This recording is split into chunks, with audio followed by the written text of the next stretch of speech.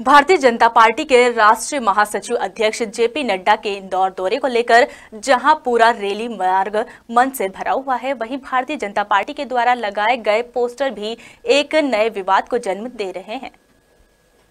दरअसल मध्य प्रदेश के मुख्यमंत्री कमलनाथ ने पोस्टर राजनीति से पहले ही दूरियाँ बना ली थी और अपने मंत्रिमंडल को भी शहरों में, गाँव में, प्रदेश में पोस्टर लगाने से साफ़ मना कर दिया था। लेकिन अब विपक्ष में बैठे भारतीय जनता पार्टी ने एक बार फिर पोस्टर की राजनीति से अपने अस्तित्व को दिखाने की कोशिश की है, जिसको लेकर जेपी नड्डा के दौरे के दौरान उनकी रैली मार्ग पर पोस्टरों से भर दिया गया है। रिपोर्ट, खबर मध्य प्रदेश